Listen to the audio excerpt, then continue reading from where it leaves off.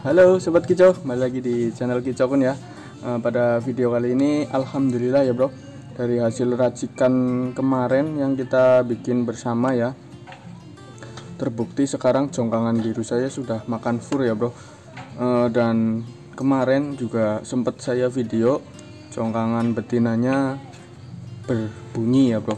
Cuma ada kabar buruknya jongkangan betinanya mati ya bro. Jadi nggak tahu kenapa mungkin karena stres atau gimana ya? Kemarin sempat bunyi paginya sampai jam 12 siang masih hidup ya. Sekitar jam satuan dia sudah nggak kuat sudah drop banget ya bro. Jadi akhirnya mati gitu. Eh, ya bagaimana lagi ya bro? Belum rezeki kita. Mungkin kita nanti cari jongkangan baru yang betina. Oke teman-teman. Jadi seperti ini nih ini jongkangan biru saya alhamdulillah. Ke- kelihatan sehat ya bro. Dia normal. Tuh. Dan itu yang coklat.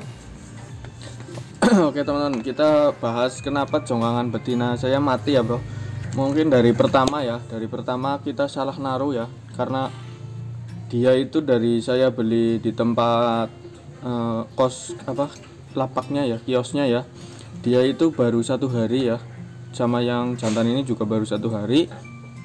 Nah di saya dibawa pulang itu ditaruh di dekat burung besar-besar itu. Saya tunjuk kasih tunjuk. Lihat. Nah saya tempelkan dekat burung besar-besar ini ya bro.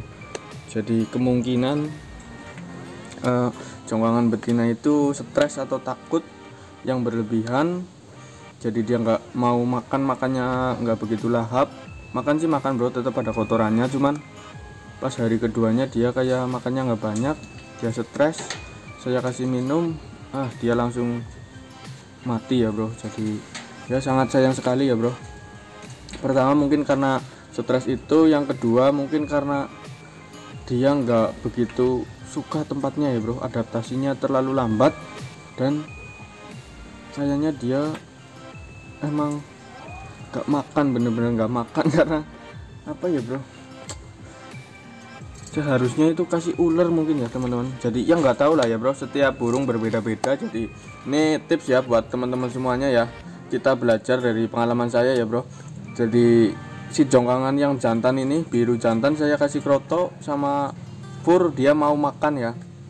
Dan alhamdulillah makan furnya juga lahap. Cuman yang betina saya kasih kroto sama fur krotonya masih furnya masih. Jadi dia kayak nggak mau makan. Mungkin dia doyannya ulat kayak gitu bro.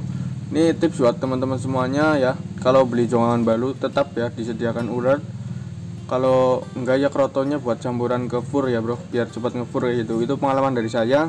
Semoga teman-teman tidak mengalami kejadian seperti saya ya. Karena itu saya sudah kasih tahu ke teman-teman. Pokoknya se- selalu disediain ulat kandang buat si burung jongkangan ini. Karena dia mungkin lebih suka makan ulat kayak gitu bro. Karena tiap burung tipikalnya berbeda-beda kayak gitu ya teman-teman.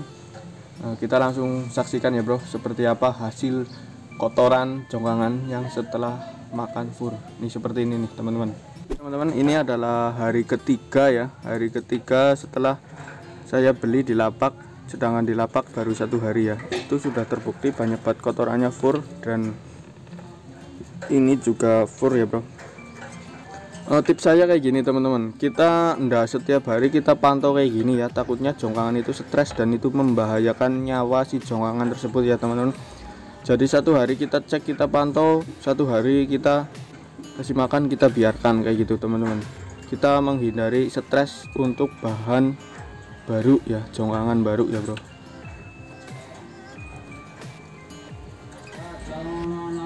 Kelihatan sehat ya bro? Alhamdulillah